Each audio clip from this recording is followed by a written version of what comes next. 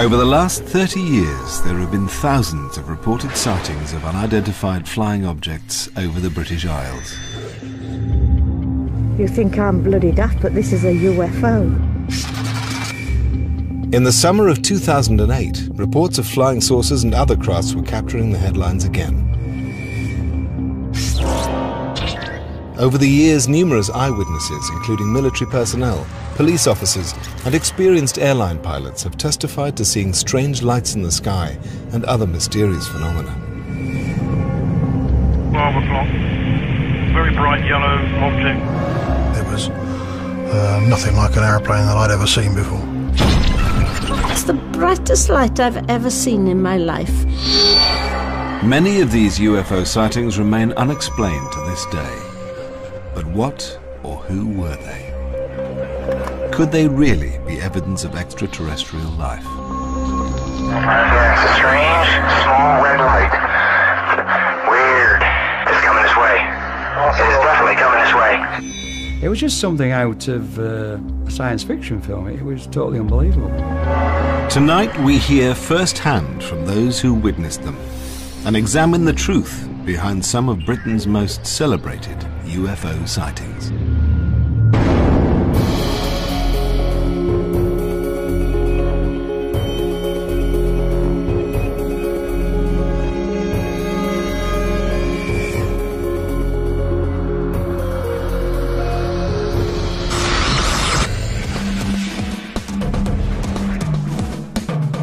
In 1977, Broadhaven in West Wales became notorious as a UFO hotspot. There have been a number of calls to the police station. Every call referred to objects in the sky. Dozens of witnesses claimed to have seen mysterious lights and objects around the village. It was an orange object, which seemed to be split into well, several one, one or two segments. Yeah. The number of sightings left locals shocked, What on earth was that? experts baffled, We could offer no explanation. and even sparked a Ministry of Defence investigation. The ministry don't tend to do investigations of UFO sightings. It's extremely unusual. The phenomenon would become known as the Broadhaven Triangle.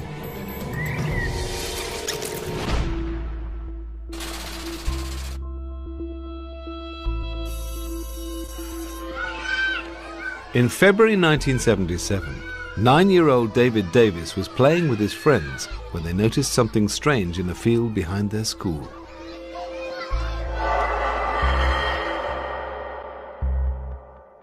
A silver cigar shaped object um, about the size of a bus popped up from behind some trees as if it was trying to take off. I don't know whether it was stuck, but it seemed to pause for about two or three seconds and then disappear back behind the trees again. It was only only a matter of seconds that I actually saw the object, but it it imprinted itself on my memory forever. The children ran back inside and alerted their teachers. Ralph Llewellyn, uh, who was the headmaster at Broadhaven School at the time, he got us all together and in exam situations, he got us to draw what we'd seen and describe it as well. At the time of the sighting, Hugh Turnbull was chief reporter for local paper The Western Telegraph.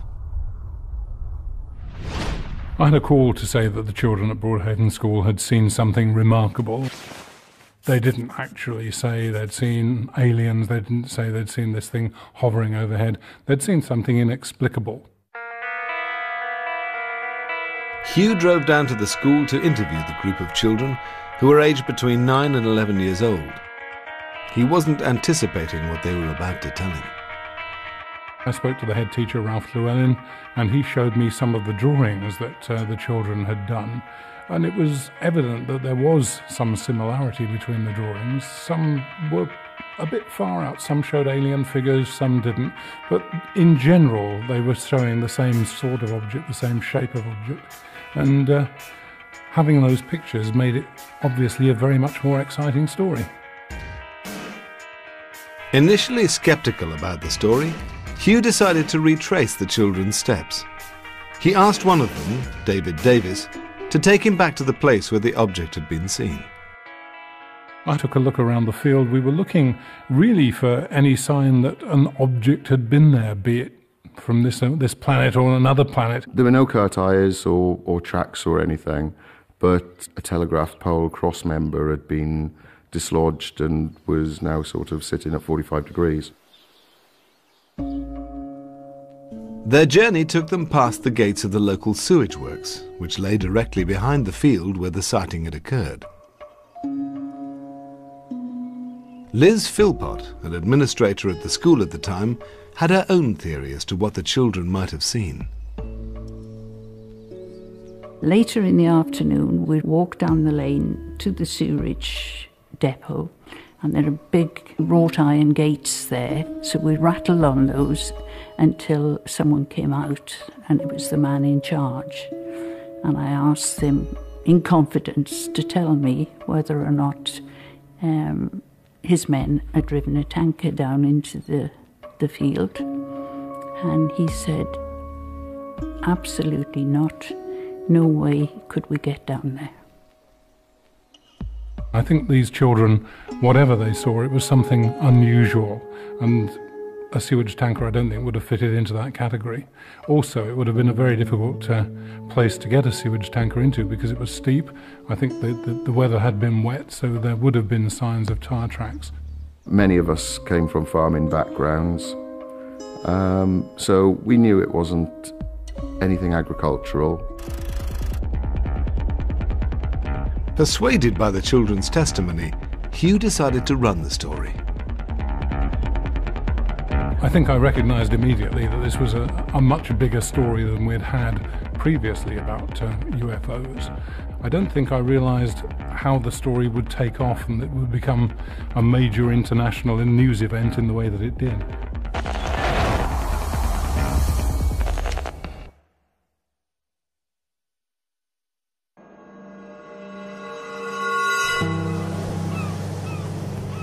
In the winter of 1977, a group of children in Wales claimed to have seen a spacecraft hovering behind their school playing field. When the story hit the newsstands, Broadhaven, a small seaside village with only 600 residents, suddenly found itself the focus of intense public interest.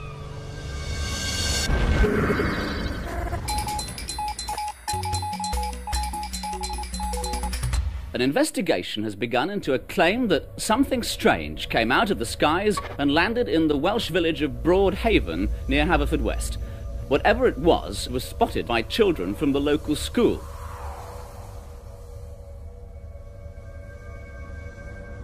We just couldn't carry on normal lessons. The, the phone was going off every, every couple of minutes. We were even getting researchers and interviewers from as far afield as Australia, New Zealand, America, all wanting to talk to the people who'd seen the flying saucer. The incident at Broadhaven Primary School appeared to be a baffling one-off event.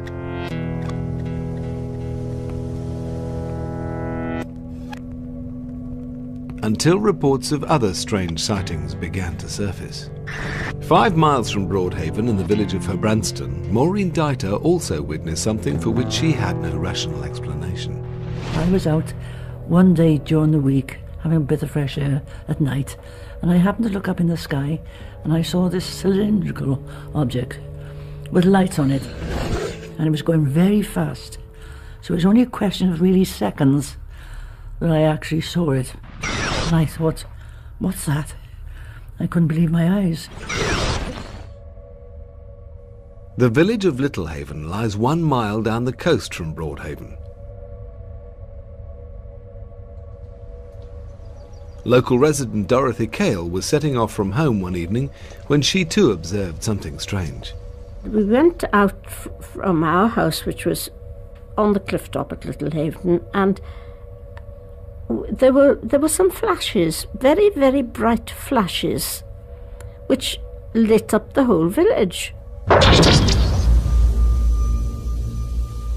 All of a sudden, there was a, a very strong light. The driver put her foot hard on the brake quickly.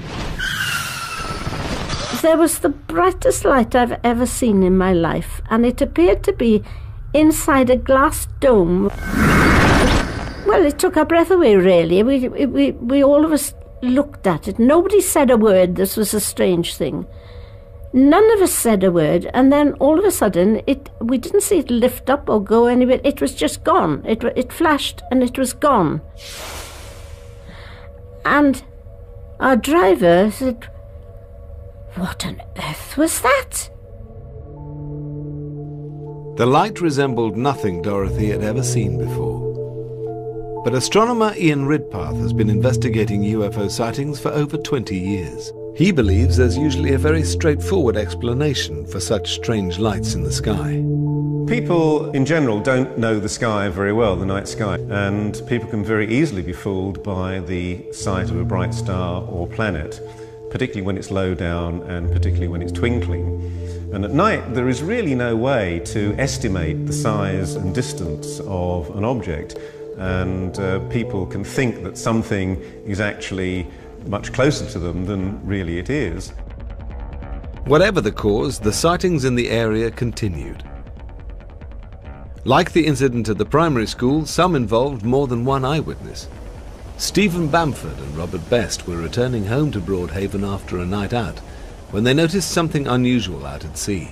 We probably saw the people before we saw the object. We? Yeah, we wondered what they were all looking at. Yeah. We assumed it was probably the cliff was on fire. It did look like a fire, but it was obviously mm. out to sea and it moved from right to left. It was an orange, an orange object, which seemed to be split into well, several one, one or two segments. Yeah. And then we thought we'd be brave and drive out there, or drive in the general direction to see if we could sort of find whatever it was. And then as it moved across, or they moved across, they just shrunk and disappeared. Diminished on itself. Yeah. The men could think of no obvious explanation for what they'd seen.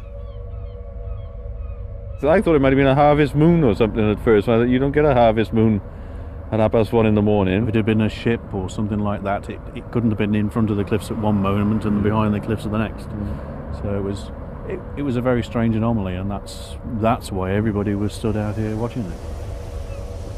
Psychologist Chris French has made a study of the reliability of such eyewitness testimony. Now, in situations where we've actually got evidence from multiple witnesses, and that evidence seems to be telling pretty much the same story, everybody is saying the same thing, then we're quite likely to give that kind of evidence much more weight than single uncorroborated testimony. But one thing we should bear in mind is that when people see something unusual, such as a possible UFO sighting, then they will actually discuss what they've seen with each other. And we've got lots of good experimental evidence to show that one person's account of what they've seen can actually influence another. But with the sightings continuing to flood in, many were convinced that something strange was happening in Broadhaven. By now, the police were being drawn into the mystery. There have been a number of calls to the police station. Every call referred to objects in the sky and always some distance away, uh, travelling in a particular direction and then just disappearing into thin air. People were ringing in and writing letters all the time. Um, the ones that I was more convinced about were the ones who said, Well, I'd rather you didn't use my name, but I saw this. It was really the start of what they call the Broadhaven Triangle.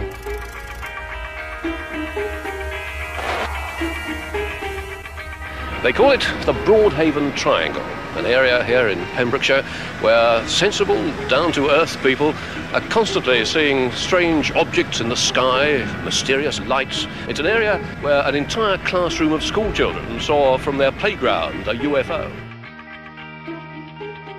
The triangle encompassed the southeast of St Bride's Bay, through Broadhaven, down to Milford Haven, and towards Haverfordwest inland. It was an area of coastline which changed dramatically from mile to mile. Could the area's local geography have been a factor in the sightings? There's a number of oil refineries and other industries around Milford Haven. Flares at night and uh, odd shaped plant, but people around here would have been very familiar with that. Those have been there for many years before anybody started seeing UFOs. The number of sightings reported in the area meant that what had begun as an intriguing local story was turning into a much bigger phenomenon. It was what UFO researchers like Dr. David Clarke call a flap. The word flap became associated with periods of intense UFO activity concentrated in certain areas from the mid 50s onwards. So it's a, it's, an, it's a word that becomes part of ufology from that point onwards. Now, the first real flap that seems to have occurred in, uh, in the UK was the one at Warminster in the 1960s. For 10 years, the town of Warminster in Wiltshire was famous for being a UFO hotspot. Unlike the Broadhaven sightings, the flap in Warminster began on Christmas Day 1964 with a mysterious sound.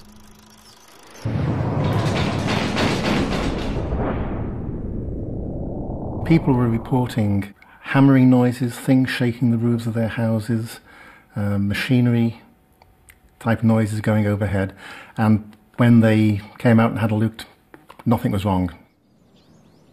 By May 1965, reports of lights in the sky had begun to surface. Local journalist Arthur Shuttlewood connected the lights and sounds, and the Warminster Thing was born. He was writing for the local newspaper and he got more and more obsessed with this and went out skywatching himself.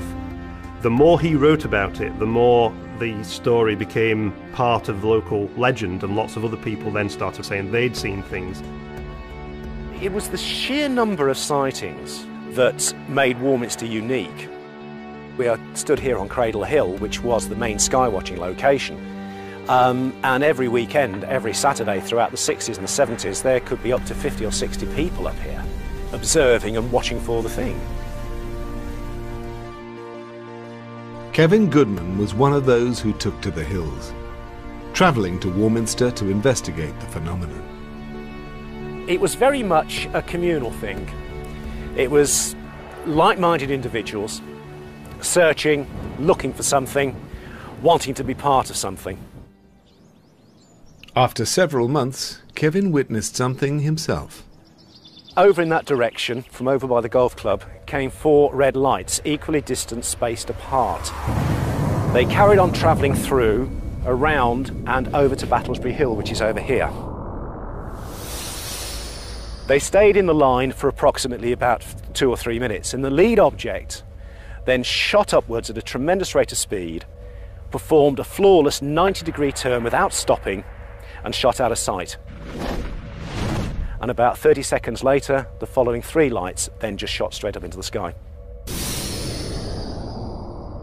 To this day, I can't really rationally explain what I saw. The sky watchers were identifying hundreds of UFOs in the hills. But how reliable were their reports? One of the important things about Warminster um, is that it is surrounded by various military bases and camps. There's an artillery school there. There are various tank training areas around there and around Salisbury Plain. The area was one used to military activity. Covering 150 square miles, Salisbury Plain was the largest military training area in the UK. And that wasn't all. 18 miles from Warminster, an experimental establishment conducted trials of prototype military aircraft. The ufologists would say that the reason that you get so many sightings near military bases is because the extraterrestrials are very interested in what's going on at those bases. Whereas it seems far more plausible to argue that what's happening is that it's the activity at the bases themselves. Like Warminster, Broadhaven was also surrounded by military bases. Close to the village was RAF Brawdy, a base for search and rescue helicopters and a training station for military pilots. Could it have been that it was simply RAF activity that was responsible for the Broadhaven sightings?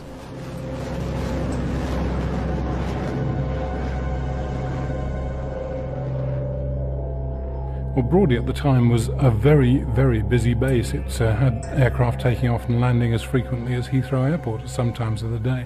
So there's an awful lot of activity going on there.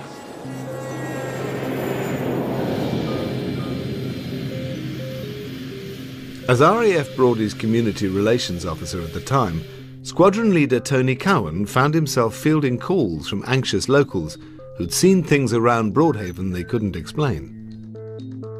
We had a look at the flying program, which was uh, easily accessed, and see if we could uh, relate the time of the incident or the reporting to the time of activity that was taking place at our airfield or indeed in our area. Sometimes the answer was obvious.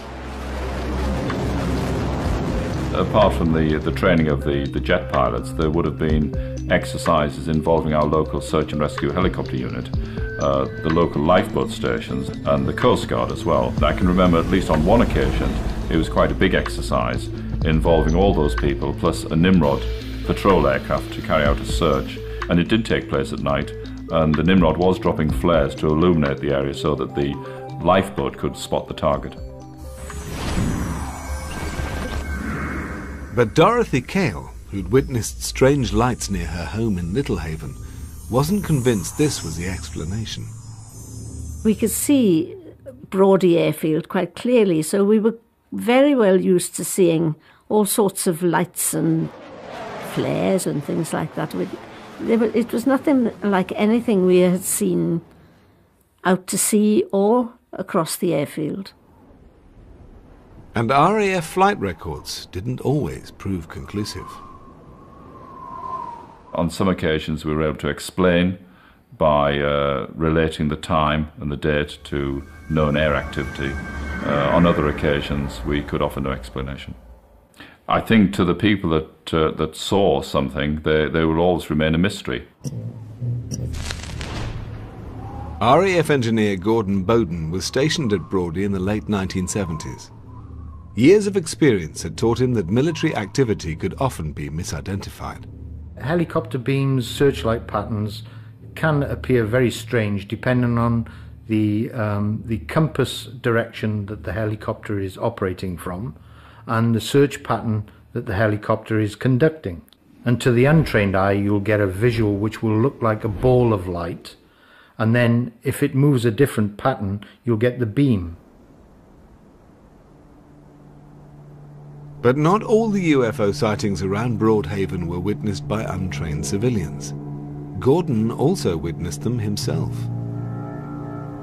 On two occasions at Broadhaven, I did see strange lights out at sea. These lights that I saw accelerated with such phenomenal speed I, I cannot explain what they were, but my military training would have said we had no aircraft at that time that could have travelled that fast and changed direction so quickly because it would have killed the pilots.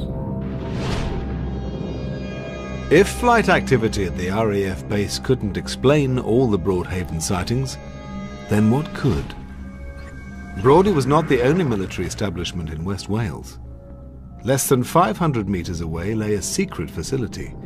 It was run by the United States. US military bases have been connected to some of the most celebrated and well-documented UFO incidents in Britain. Yeah, it's a strange, small red light. Weird. It's coming this way. It is definitely coming this way. Could these American bases provide any clues to what was being witnessed on British soil?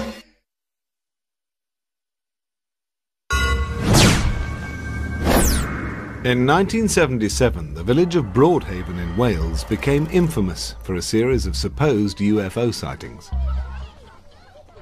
Why were so many people reporting mysterious lights and objects in the area?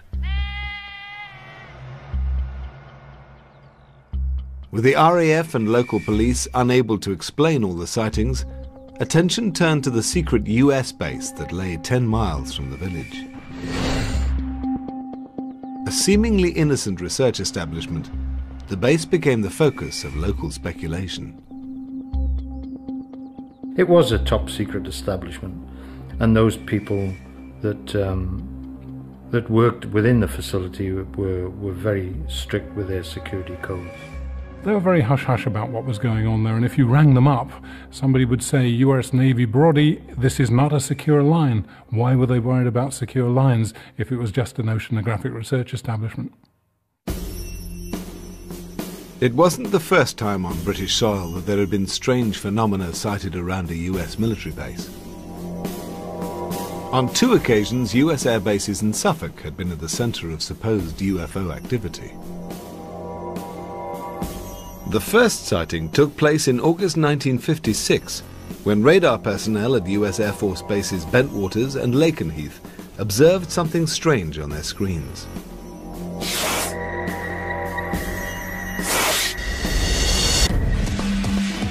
The Lakenheath incident caused all kinds of um, concern on both sides of the Atlantic.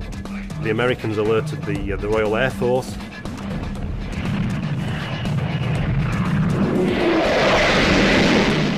Radar station uh, RAF Neatishead uh, began tracking these same mysterious objects. And it led to a very, very bizarre evening in which waves of RAF fighters were scrambled to go and look at this thing over Lakenheath. Two aircraft gave chase, but failed to intercept or identify the object. Running low on fuel, they returned to base and the object disappeared from radar screens.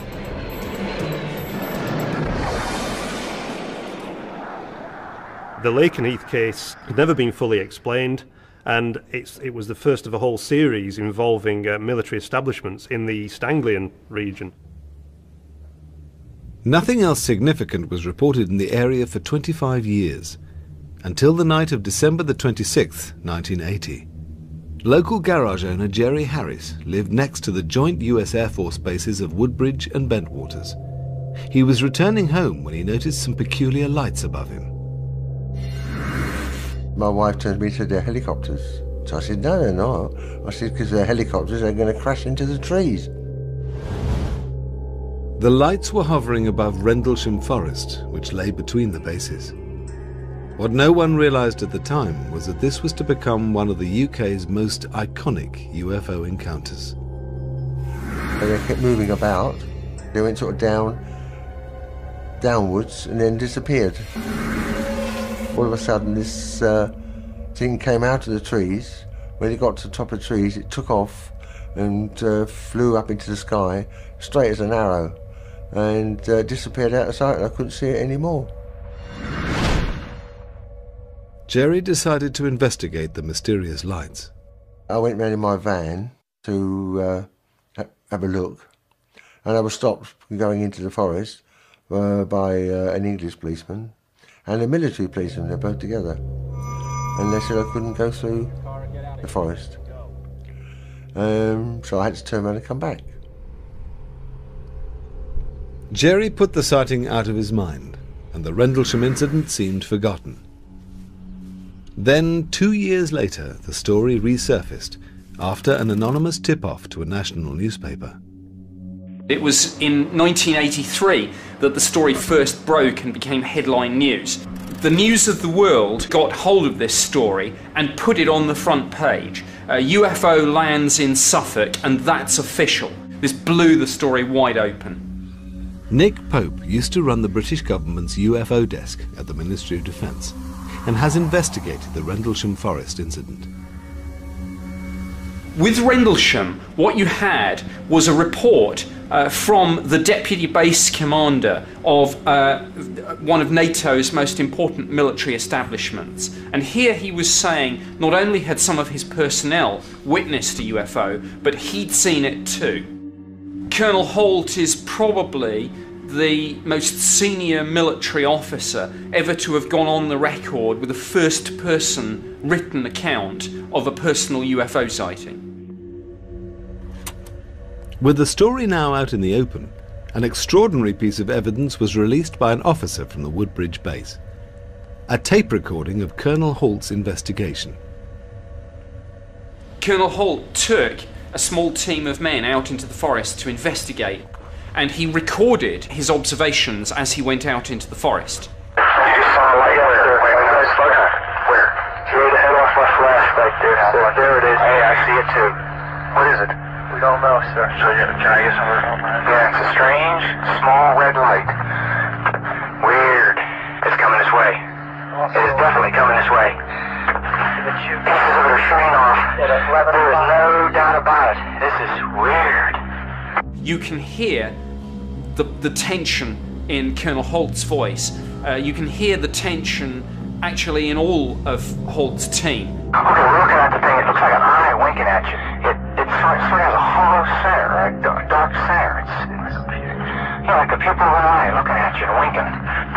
Is unreal. We're turning around, heading back toward the, the base. These are not people who mistake aircraft lights for, for something more exotic. When these people say um, and go on the record uh, as saying, we experience something above and beyond uh, anything we've ever seen before, you can take that to the bank. A UFO sighting made by several credible military witnesses made the Rendlesham story unique. Astronomer Ian Ridpath has investigated a number of UFO cases and was keen to get to the bottom of the airman sighting. When the Rendlesham Forest case hit the headlines in 1983, um, I realised that I actually had to take this case seriously because it had um, you know, good, apparently very good evidence. But conversations with locals soon convinced him that the Rendlesham case was not all it had first appeared. From the position in the forest where they saw their flashing UFO, you can actually see straight to the Orford Ness Lighthouse, which appears to hover between the trees, not very far off the ground. And as you move towards it between the trees, the light seems to recede in front of you, uh, which is exactly the effect that the airmen reported as they moved towards this flashing light, but they never actually got to it because it, it got further and further away. I've been to Rendlesham Forest at night, and anyone who's been to Rendlesham Forest at night uh, and has seen the lighthouse will, will realise that it's a tiny pinprick of light in, in the distant horizon. There's no way that Halt and his team could have misidentified that for something more spectacular. Jerry Harris and the US Airmen had reported that the lights in the forest had moved in strange directions. But this too could have had a rational explanation. I knew from experience that bright meteors or fireballs, which are natural pieces of debris from space burning up in the atmosphere, can give the impression that something has come down quite nearby. I was able to find from the British Astronomical Association that indeed a bright fireball had been seen at that same time that the men had seen something apparently descending into the forest. Ian Ridpath's evidence suggested that the UFO was nothing more than a combination of unusual but naturally occurring phenomena. It appears to be an absolutely uh, superb, almost inexplicable case, but when you look at each of those aspects individually, there is a rational explanation for each of them. But this conclusion didn't satisfy everyone. If the lights did have a rational explanation, why were the Americans so reluctant to discuss it? All the Americans I knew from the base, none of them would talk about it at all. They weren't allowed. And they had strict instructions from up above not to talk about it. So I couldn't find out anything from them whatsoever. They were just trying to cover it up. When a wave of UFO sightings had hit Broadhaven in West Wales in 1977, attention had also turned to the US military. Not far from the village lay a secret US base. When strange lights and objects were reported in the area, speculation grew that the Americans were developing secret, state-of-the-art military technology. Nobody really knew what was going on there. So I think it's quite a possibility that all this could be linked to some sort of military activity. But when the base was deactivated in 1995, the truth about the Americans' activities was finally revealed. As it turns out, they were, they were listening for, for Russian submarines at the height of the Cold War.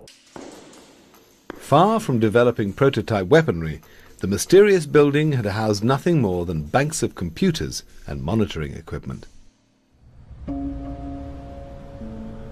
This revelation put paid to the theory that the mysterious lights in Broadhaven had come from the secret US base. But the sightings were about to take a bizarre new turn, with accounts of more than just unexplained lights in the sky.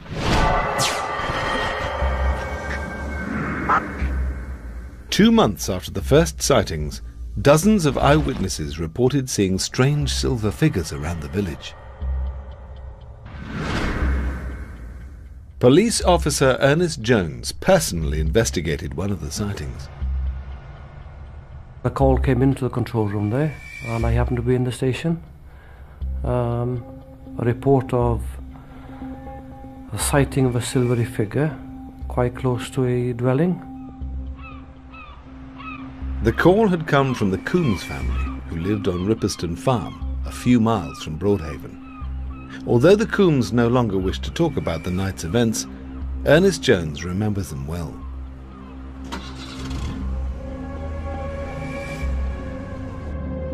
So here I was going to a farm on a dark night, in the middle of the night, not knowing exactly what to expect, but expecting to get close to something that nobody knew nothing about. So a few things were going through my mind. We arrived in the yard, went to the front door, doors open, we went in. There's a family there, established a husband and wife, spoke with the wife. She was very, very frightened. Got over right. She saw a silvery figure moving about very close to the window. Her husband, he, he turned round and saw this figure very close by the window outside, where he'd been sitting. He was really frightened as well. And we're not talking here of a softy man working nine till five in an office. We're talking of a man and quite used to going out of the house all times of day and night, checking on cattle. No way would he come out of the house with us. No way.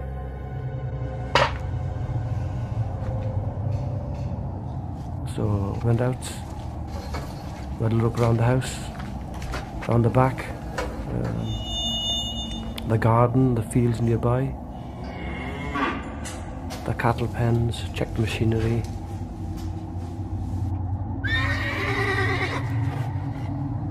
With the silver figure nowhere to be seen, PC Jones returned to the house and made arrangements to evacuate the family. From the condition they were in that night, especially Mrs. Coombs, she didn't feel safe, and she didn't feel this, the, the house was safe for the family. The Ripperston farm incident was not an isolated one-off. Reported sightings of strange silver figures were taking place all over the area. With the mystery deepening, the investigation would now step up to a new level.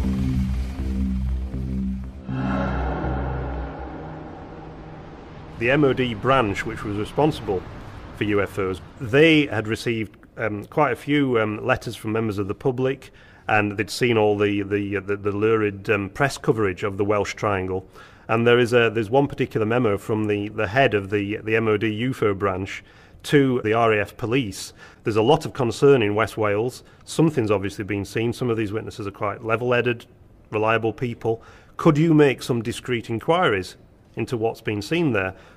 The very fact that the military were interested was very, very unusual because the ministry don't tend to do field investigations of UFO sightings. It's extremely unusual.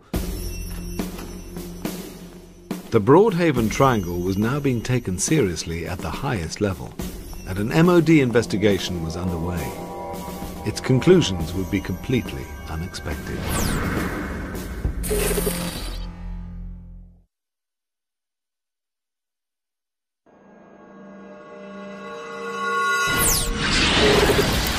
They call it the Broadhaven Triangle. Triangle, triangle. In 1977, Broadhaven in West Wales became known as a hotspot of UFO activity. Claims of lights, strange objects, and even silver figures were being made by dozens of local witnesses. Six months into the sightings, the MOD decided to launch an investigation. In itself an unusual occurrence, and something not made public for nearly 30 years. Before the Freedom of Information Act came into force, uh, you have to remember that the default position of the Ministry of Defence, an inherently secretive organisation, was to say nothing. In 2005, the Ministry of Defence's report on this incident was finally made public. It does look as if um, some discreet inquiries as they described at the time, were made. And the, and the, the answer that came back, which is mentioned in, in, a, in a briefing to the Defence Intelligence staff later in 1977, was that a practical joker was behind some of these more bizarre reports that had reached the ministry. The practical joker revealed himself to be Glyn Edwards, a local businessman from Milford Haven. We had a round table uh, dinner, and the theme was a fancy dress dinner. So, um, as it was topical at the time, I decided to dress up as a spaceman. So I borrowed an industrial suit from one of our local suppliers. I went to the dinner, and before the dancing started, I went out to the car to remove it. But some of my colleagues said, "Let's go around the village." So we all jumped in the car. Bumped into a few people, turned a few heads, and uh, after about 10 minutes, we decided to go back. Going back then, we stopped outside the Haven Fort Hotel.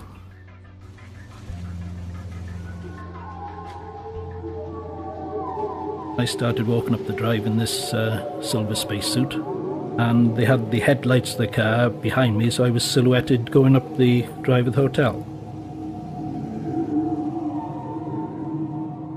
All my colleagues were hiding in the bushes at that time, and one of them said, There's somebody in the window. I went a bit further, and another one shouted, Oh, she's got a gun.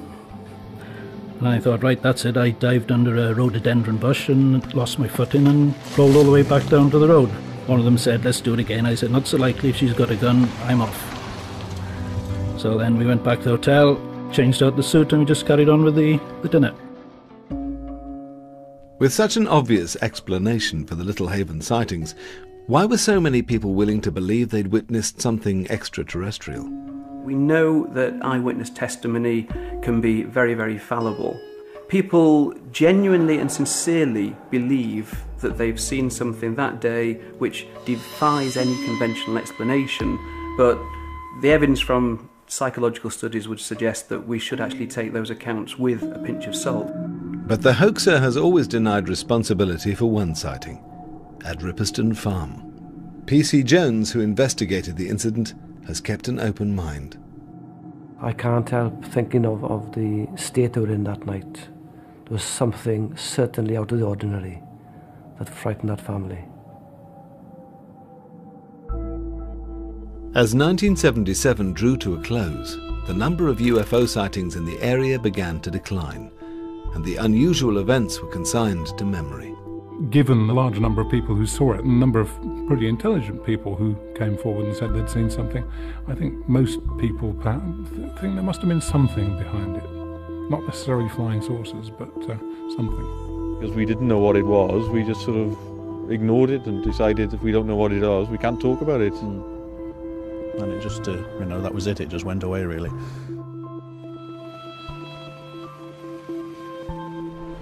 For many who witnessed the Broadhaven phenomenon, it remains something that they find difficult to explain. I'm a very rational person, and I, I, I say I don't believe in UFOs, but having seen something unusual myself, but I, I, it seems so. It seems ridiculous to me, really, to think there's, there's something from outer space that's come down and settled in Little Haven. There's no physical evidence, there's no photographic evidence, and, and that's a great shame because I think most people uh, have an open mind about the whole business, and uh, and I think if you look into a night sky, uh, you must believe that, that there must be something else out there. Uh, what it is, I don't know. I'm absolutely sure of what I saw that day. I saw an object that was large, cigar shaped, silver, after 30 years, I'm no nearer the understanding than I was on the day that I saw it, but I am 100% sure that what I saw that day is as we reported it.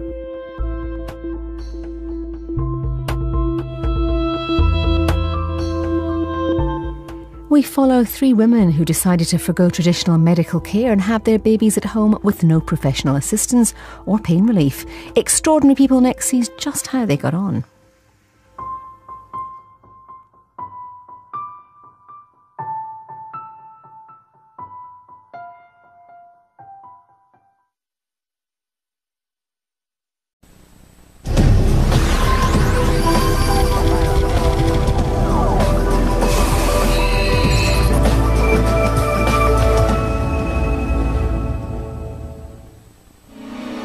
UFOs. If we do finally make contact with aliens, how will it happen? Will they arrive in fantastic spacecraft like the UFOs glimpsed recently above Mexico City? Will we pick up a faint signal from their corner of the universe? Or will we arrive too late and find the ruins of an ancient alien civilization? Making contact with aliens and UFOs next. Even from a distance of 93 million miles, the sun is the source of all our bounty. Without its warming rays, the Earth would be a lifeless hunk of rock, orbiting silently in the vacuum of space. The ancients were well aware of the sun's importance. When the sky suddenly darkened during a solar eclipse, they thought it might be the end of the world. Eclipses are a fine example of how the ancient person responded to an unexpected astronomical phenomenon because eclipses were not predictable to the ancients. They didn't know what it was. They didn't know that it was the moon passing in front of the sun. They thought the sun was being devoured by some uh, evil god. So throughout the world, people were frightened by this. Gradually, science replaced superstition. In 1540, the Polish astronomer Nicholas Copernicus published his revolutionary theory that the sun, not the earth, was the center of the solar system. In the early 1600s, Galileo improved the new scientific marvel, the telescope, enough to prove the Copernican theory was fact. In modern times, the rhythms of sun, moon, and earth are well understood, so that a solar eclipse is the occasion for excitement rather than fear. And so it was that on July 11, 1991, families around Mexico City gathered on street corners to witness one of the longest solar eclipses of the century.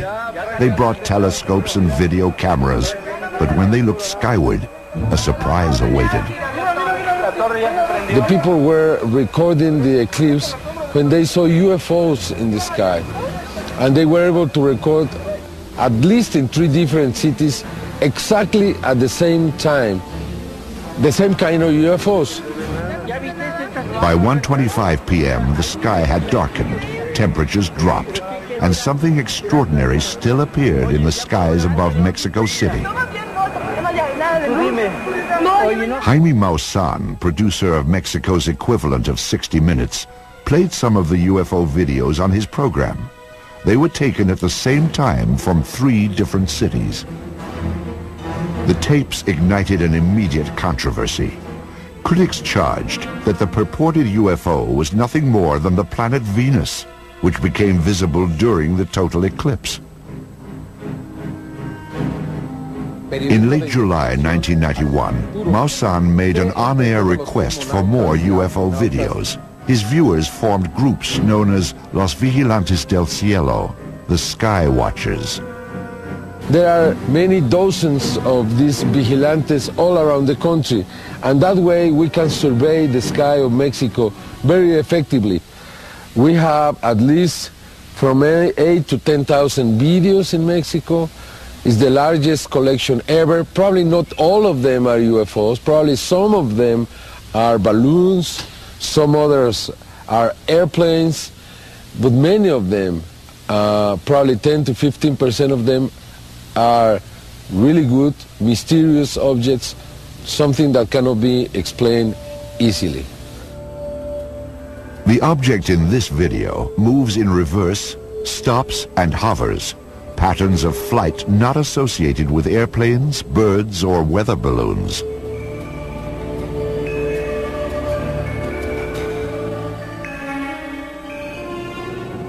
On September 16, 1993, Mexico's Independence Day, a shimmering silver object seems to fly near a squadron of military helicopters that appeared in formation over the capital.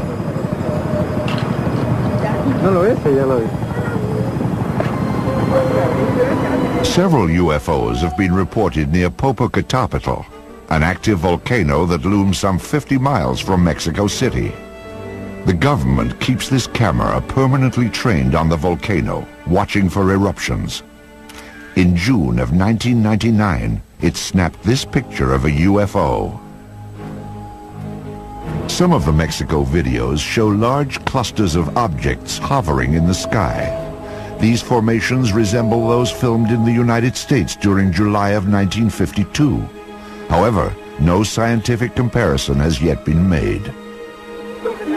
We have basically a mass of seemingly good evidence that has yet to be sifted through by UFO investigators.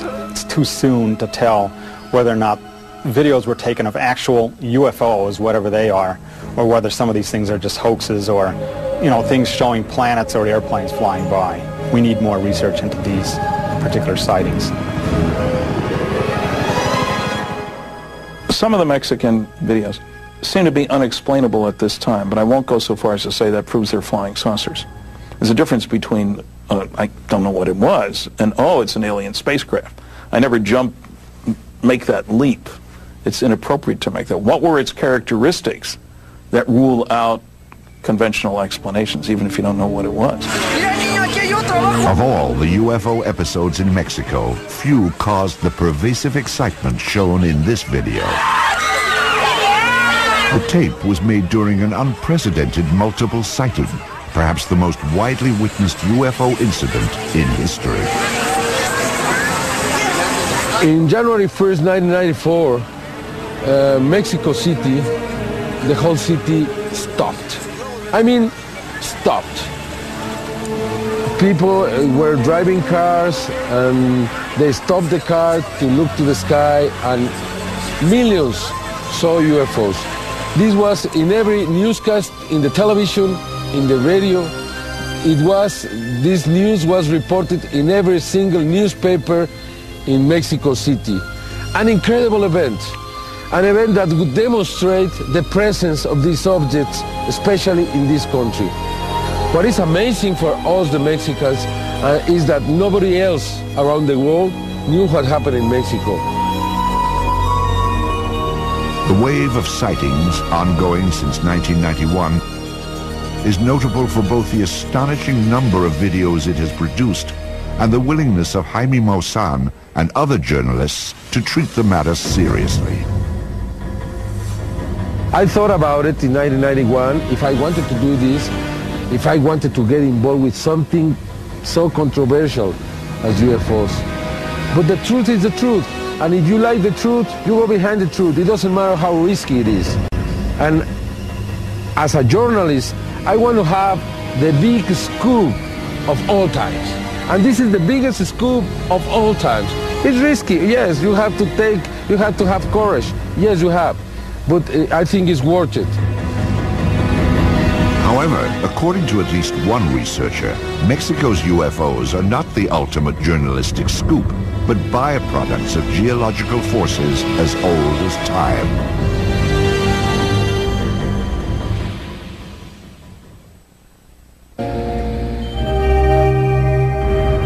UFOs have been playing hide and seek with Earthlings for decades. Even as we open the door to the 21st century, no one has proven where UFOs come from and just what it is they want. If cave paintings, biblical accounts, and Renaissance artworks can be taken at face value, the guessing game has actually gone on for thousands of years. But some investigators have advanced a fresh theory to explain UFOs. Simply put, they are not objects from outer space, but a whole spectrum of luminous phenomena that originate within the core of the Earth itself. The Earth is a massively complex laboratory. There are infinite number of forces that are interacting, and we really don't understand those as yet in, in any great depth. And uh, the Earth does produce lights. It has its light show. And I think they're older than the human race. They belong to the very body of the Earth. Among these exotic natural wonders are earthquake lights and ball lightning. Scientists believe that earthquake lights occur both before and after tremors, when gas released from within the Earth suddenly ignites and shoots sparks into the atmosphere. Ball lightning is believed to be an accumulation of static electricity that not only becomes visible, but is also capable of moving in the air and along hard surfaces. To those who have studied UFOs, however, even the most spectacular natural phenomenon can only explain a few unidentified flying objects. When you look at a range of UFO reports that have been made over the years and thousands and thousands, presumably some small fraction of them, if they're under the right conditions, um, in the right place at the right time, uh, some of these kinds of phenomena have to be considered. But by and large, from what I've read and what I've, I've seen, um, they don't really fit. In this ongoing debate, another type of naturally occurring luminous display is often cited to explain UFOs. They are known as Earth lights. The characteristics that probably distinguish Earth lights from earthquake lights or ball lightning are that they tend to last for longer. And uh, they often haunt particular areas like a valley, like a mountain. Um, in, in China, for example, Mount Wutai Shan and Mount Omei, there are temples that have been built specifically because light phenomena occur there. Uh, and the people who built the temples thought this, these lights were an expression of the Dharma. Uh, but that indicates to you how long lights were seen in that area, centuries. Despite such ancient traditions, no one can explain exactly how Earth lights are created. We are testing theories, and one of the strongest contenders is that tectonic stresses in the Earth through the Earth's geology, not necessarily related actually to an earthquake, though it can be, um, that these stresses produce tremendous force fields, and that through whatever mechanisms we don't really understand yet, plasmas are produced. Proponents of this naturalistic theory suggest that plasmas, luminous clusters of charged particles, explain even the most well-known UFO sightings. And I should also say, if we go back to uh, Kenneth Arnold's flight over the Cascade Mountains, he saw nine objects of light.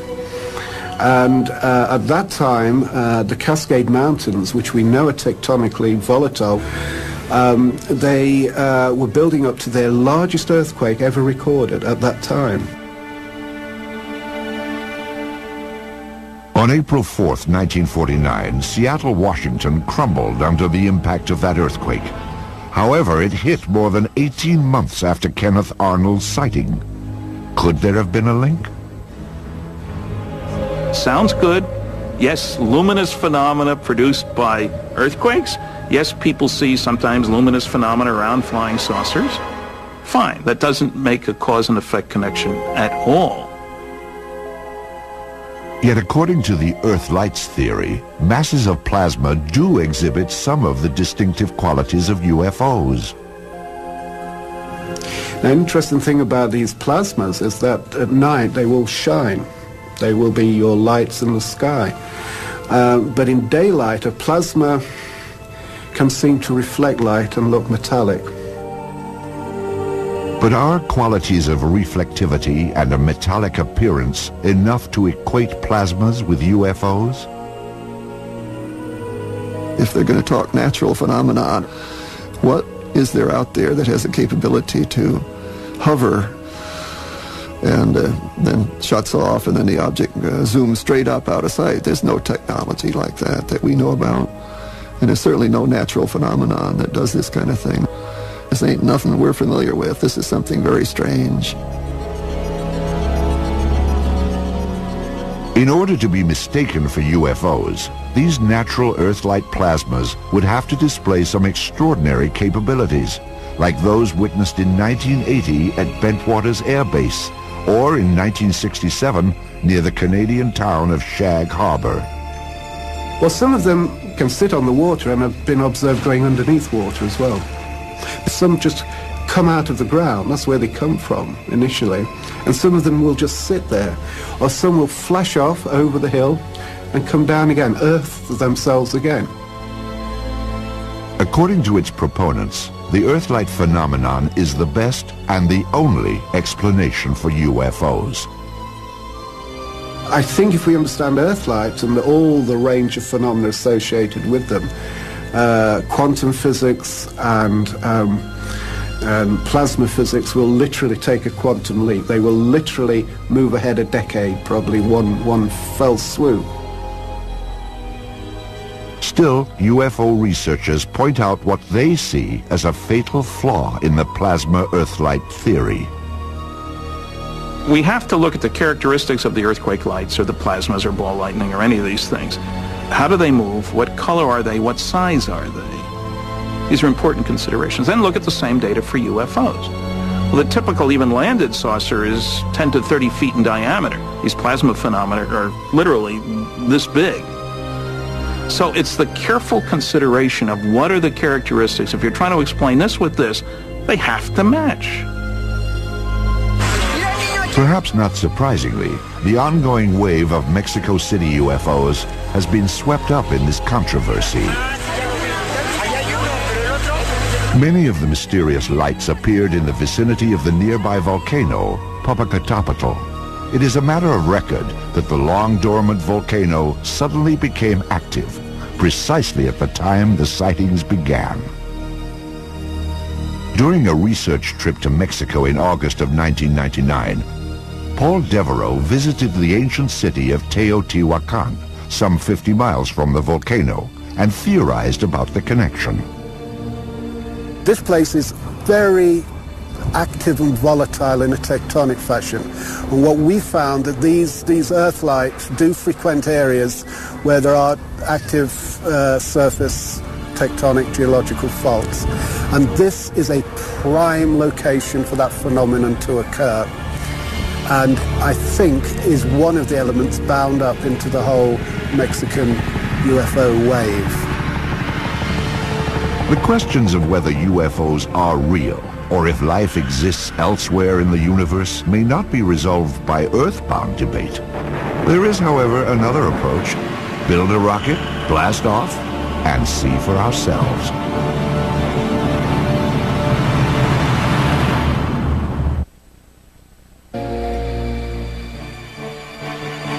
Ancient civilizations who weren't yet blessed by the invention of electricity enjoyed at least one compensation. Pristine night skies sparkled with a million stars. Early astronomers soon noticed that a handful of heavenly bodies traveled freely in the sky, unbound by the stars' slow, methodical rotation. The Greeks called them planets, a word meaning wanderer. In modern times, when Earthlings began to ponder the question of UFOs and alien civilization, it was the planet Mars that became the focus of attention.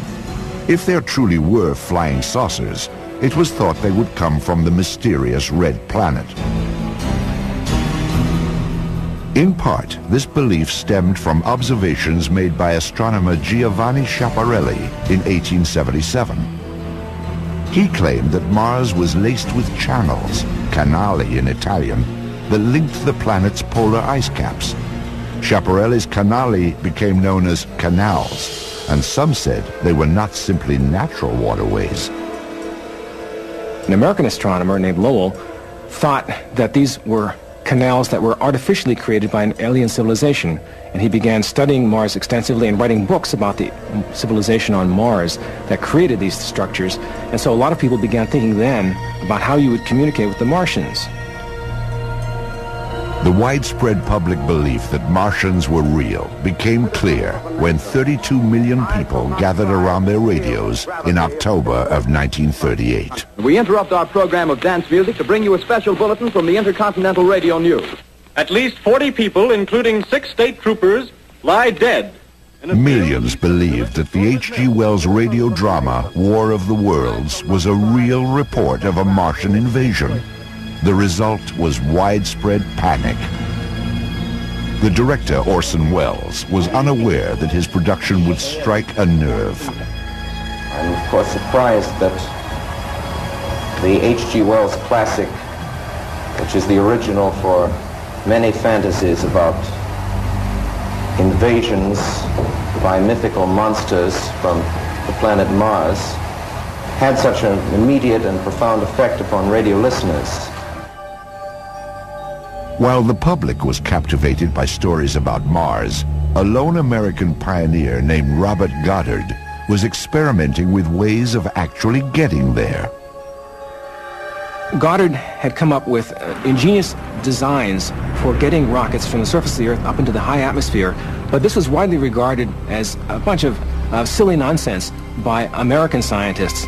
However, in Germany, he had some fans, people like Wernher von Braun, who were reading his research, and they then were inspired to implement his designs and improve upon them in Germany, and this led during World War II to the development of the V-2 rocket, which is the predecessor for basically the, the American and Russian space programs. With the launch of America's Viking space probe in June of 1975, the age-old dream of exploring Mars finally became a reality. A vehicle known as a lander actually touched down on the surface of Mars July 20th, 1976. The Viking mission showed that the surface of Mars is pockmarked with craters, like those on Earth's moon. There were also some indications that life may have existed on Mars in distant times. My personal feeling is that yes, Mars had a very uh, uh, substantial atmosphere early on with a lot of liquid water on the surface and uh, perhaps enough to form these, these river channels and river valleys that we see that are quite ancient, that are perhaps older than 3 billion years old. So the issue of the ancient climate of Mars is, is an important one for the issue of whether life could evolve. Um, I think you can start to persuade yourself the possibility uh, of life could be uh, somewhat reasonable, actually, and uh, particularly if you accept the postulate that if life can't exist, it will exist. The life on Mars debate heated up again with the release of this picture, taken by Viking on July 25, 1976. It appears to show a giant monument, a mile-long structure that resembles a human head. It became known as the face on Mars. NASA has no official position on whether the face is a natural feature or a colossal sculpture. Still, those who worked on the Viking mission have been accused of hiding the discovery of a Martian civilization. I can't think of a group that would have publicized that possibility or that, that discovery more than those of us who were looking at the pictures. We were looking for stuff like that. Our careers would have been made. We would have loved to have trumpeted to the world that we found evidence of an ancient Martian civilization. Who the heck wouldn't? And after somebody pointed that out, those of us on the lander team looked at one of the boulders on the surface nearby the lander and we decided we could see the initials of every team member in the boulder that was about 10 feet away from the lander.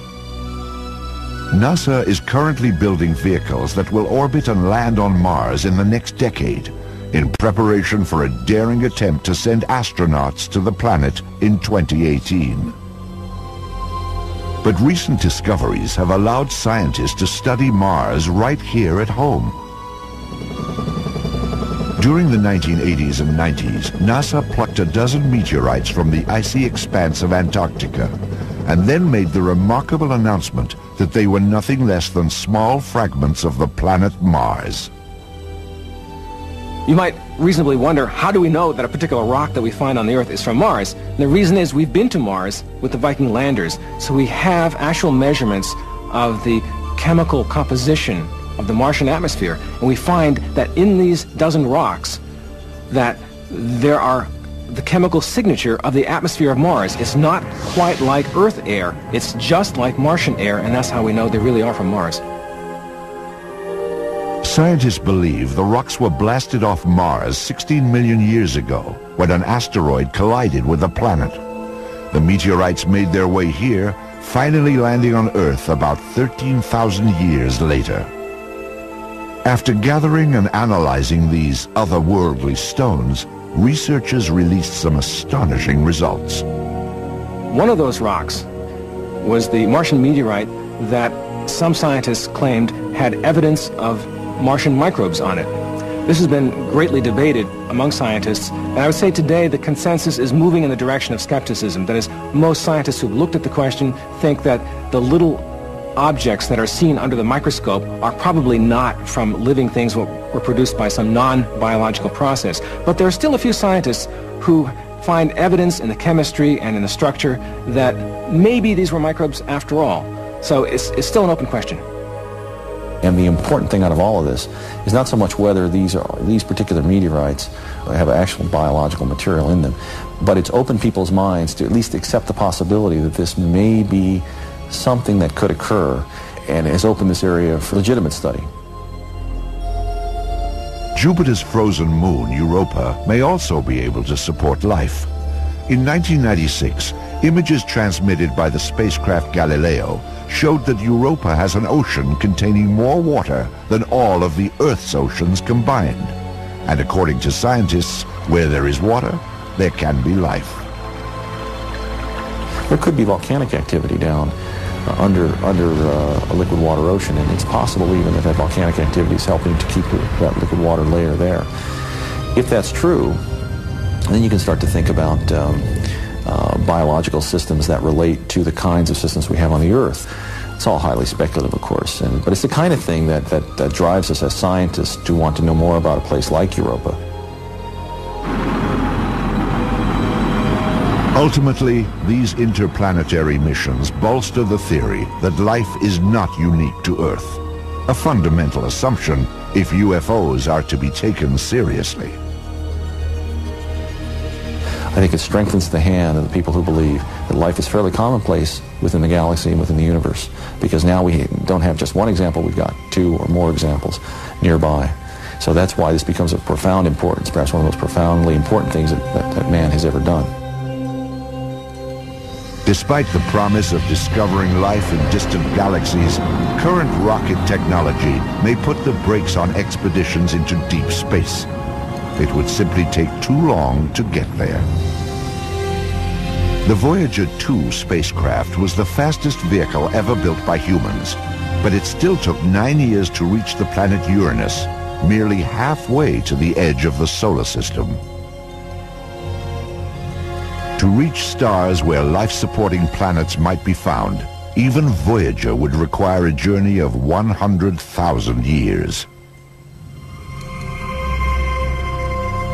In the face of such daunting realities, science has come up with another way of reaching out to alien civilizations. Aim a hypersensitive radio antenna to the heavens and hope to strike up a long-distance conversation.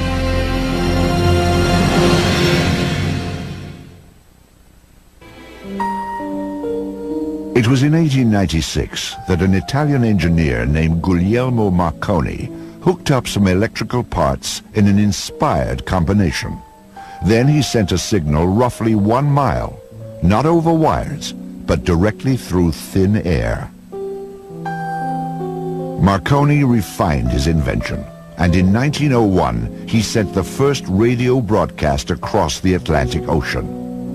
A message that would have taken Christopher Columbus several months to deliver could now be sent in the blink of an eye. Within a few decades, radio had taken its place at the center of modern life. Sports, politics, entertainment, and commerce were revolutionized by the ability of sound and music to travel magically through the air. People began listening for Martians. They began to wonder, is there a Martian civilization that might be signaling to us? People like Marconi listened for these, and they occasionally announced that they had discovered signals from Mars, we now think that that was probably wrong because there was a type of signal that they were probably picking up that they didn't know about then, but we now understand. This is a strange kind of signal called a whistler. It's produced by lightning, but it's lightning that's been transformed by the Earth's atmosphere into a strange signal that sounds just like a whistle. Like that. And so you get what sounds like an artificial signal, but it isn't. The intergalactic eavesdropping continues today, but with far more powerful receivers. These are radio telescopes pointed toward the heavens in a search for faint signals from outer space. Some physicists believe they may well hold our best chance of contact with intelligent beings from other planets. At Harvard University in Cambridge, Massachusetts, Earth's most sophisticated detector in the search for life in outer space is being updated in a laboratory. It will look for answers to one of humanity's oldest questions. Is anybody out there? The project is headed by Dr. Paul Horowitz. First and foremost, for a signal generated by an intelligent species somewhere else, we have to guess what kind of signal that might be. First of all, is it, is it light? Is it radio waves? Is it particles? Best guess is it's radio waves. Best guess amongst the radio wave possibilities are microwaves. What kind of signal there? It's anyone's guess. Some people believe a carrier, a single long transmission, a transmitter left on, probably saying nothing, just saying I'm here. Of course, radio has been around for over a hundred years. But only in the last decade have computers become powerful enough for SETI, the search for extraterrestrial intelligence. Specialized chips and circuit boards comprise the brain of the radio telescope system. It will process the stream of signals captured by a giant antenna. Our search uses an 84-foot steerable radio telescope. Looks like a backyard satellite dish, but much bigger. It can collect rather weak signals and concentrate them at the focus. There we have some very sensitive amplifiers, the best that can be made these days, to strengthen that very weak signal. The tiny signals will be transmitted through cables into the control room, where an array of computers will sort through the cosmic noise, looking for a deliberate signal, a sign of intelligent life. Occasionally we find strange signals there, really interesting signals that look like the kind of thing that might be produced artificially by another civilization. But if you got a repeat of the signal at the same frequency and the same point in the sky, that would tell you it was not a random event on the surface of the Earth or inside of your computer we would have to say that it's most likely being produced by another civilization some distance away. The problem is none of these signals has ever repeated, but it's enough to keep us intrigued and wanting to continue. But what are the odds that we will get a signal from some exotic civilization? That there's other life in the universe, guaranteed. That there's other life in the galaxy, guaranteed. Any odds you like. Absolutely cannot be any other way that there's advanced life somewhere in the universe, guaranteed. Somewhere else in the galaxy, so extremely probable that I would give you at least 100 to 1 odds that interstellar communication could well be taking place.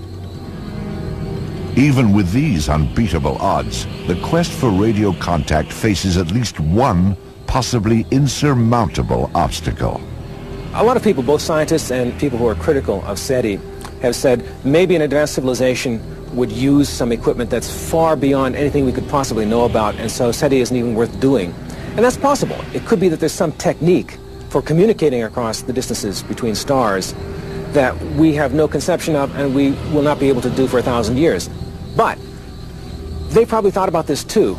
And they probably went into their museum and they said, what did we use a million years ago in the primitive part of our civilization to communicate across distances? And they said, oh, there's this thing they used to call radio. And that's what we could use if we wanted to communicate with a primitive civilization that doesn't know the advanced stuff that we know. So I'm hoping that they're using the galactic equivalent of Boy Scout technology to send a signal that a civilization as primitive as we are could detect. If such a scenario plays out, we may be able to achieve distant rather than close encounters with extraterrestrial beings. Dr. Horowitz believes that one day SETI will indeed receive a message from other intelligent life in the universe. And this will be quite an event. This will be the first bridge across four billion years of independent life start in evolution. It'll be the end of Earth's cultural isolation in a galaxy and a universe containing surely millions of other civilizations. It will be without doubt the greatest discovery in the history of humankind. Until that broadcast is received, we remain the eyes and ears of the universe, ever alert for a tiny signal that tells us we are not alone. However, during the 1980s, some UFO researchers came to believe that there were abundant signs right here on Earth that visitors from outer space had made contact. The clues were the so-called crop circles, large and often intricate patterns carved into fields of grain across Britain. Crop circles uh, were connected to UFO phenomena beginning in the early 80s, soon after they appeared in England, because people figured round marks on the ground, gee, they're like UFO traces that UFOs have left before, so why not UFOs causing these things? Because they are mysterious, they can't seem to find the source of them. These mysterious forms began to appear in Bratton, Wiltshire, England, around 1980. Farmers here called the simple shapes corn circles and wrote them off as a quirk of nature. But the months and years that followed brought an explosion of new sightings. Crop Circle magazines soon emerged to publicize the elaborate and beautiful patterns that were now visiting other crops. Researchers who call themselves cereologists stepped in to catalog these strange patterns and discover common traits.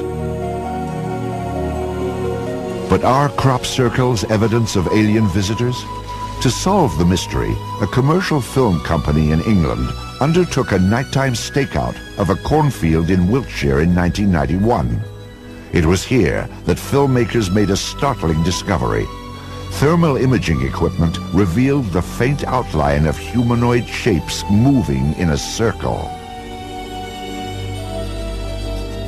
The shapes were in fact quite human. They belonged to a pair of Englishmen named Doug Bower and Dave Chorley. Doug and Dave claimed responsibility for dozens of the complex patterns that had caused so much mystery. Many circles, the twosome pointed out, were even signed with their initials, D and D. The circles that we created in 1978 with the standing walls of corn as if they'd been cut out of pastry with a knife, they were our doing and we started it way back in that time. However, numerous crop circles have now been observed in Canada and the United States, in addition to those that continue to appear all across England. And Dave didn't make those. They would have to have been lickety-split all over the planet. Having said that, uh, that doesn't mean I find a UFO connection.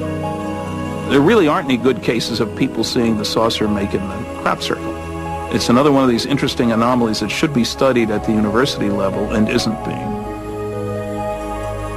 Even without crop circles, most UFO researchers believe that unexplained photos and irrefutable eyewitness testimony make the case that UFOs are real and visiting Earth with alarming regularity.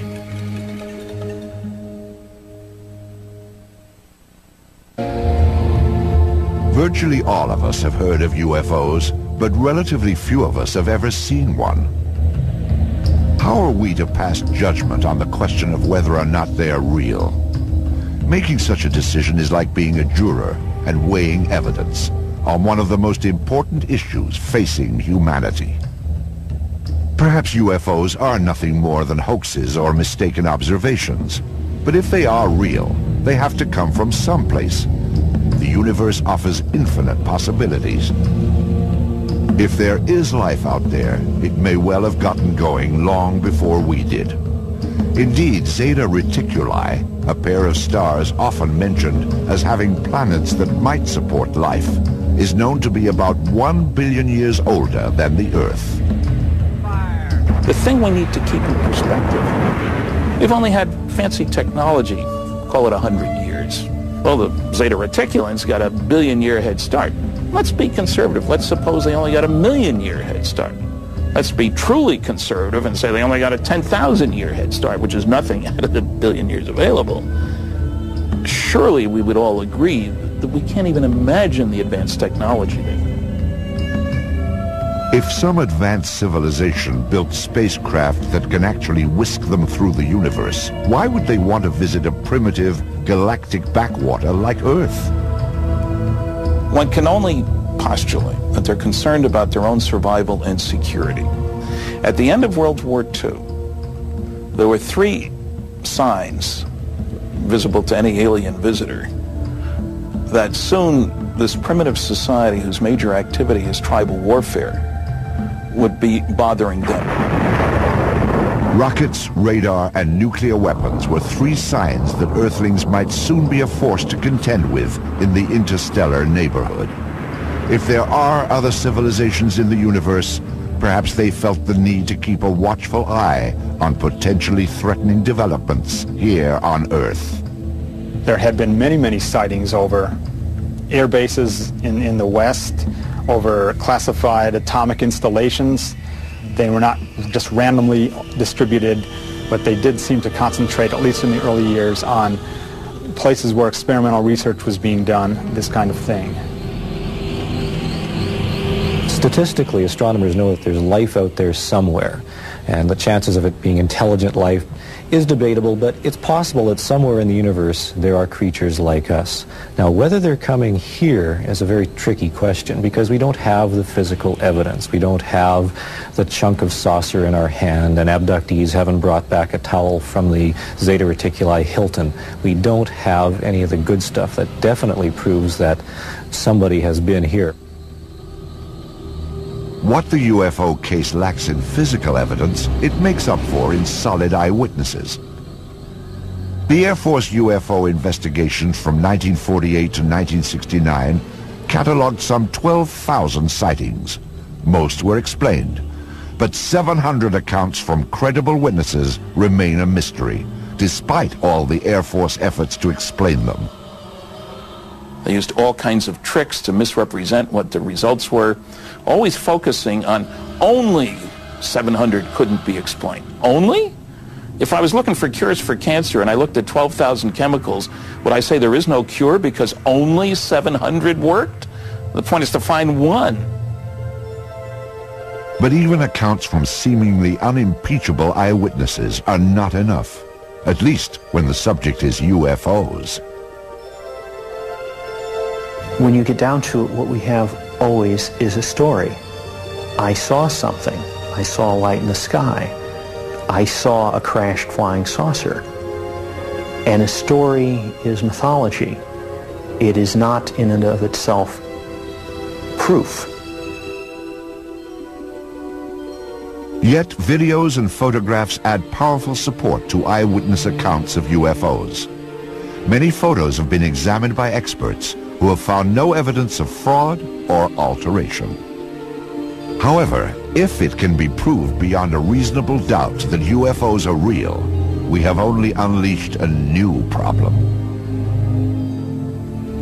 The UFO phenomenon is a great challenge to our intellect, but even more, it's a challenge to our humility. That mankind likes to think he's in control.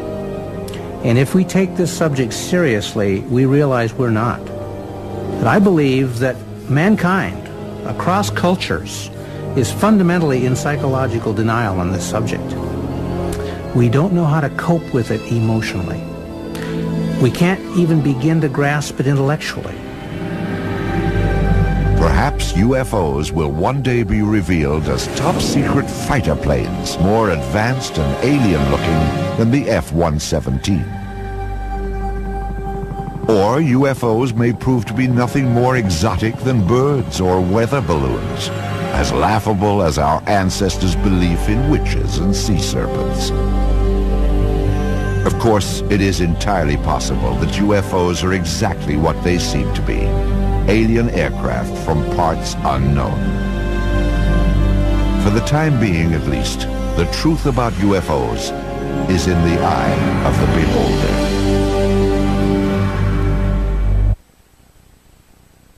Josh is heading for the glacial ranges of Patagonia to examine the remains of a vanished tribe of giants and to attempt to solve one of the greatest riddles of our time. The word Patagonia itself means big feet? Who knew? The Giants of Patagonia, on Digging for the Truth, tonight at 9 on the History Channel. That's huge.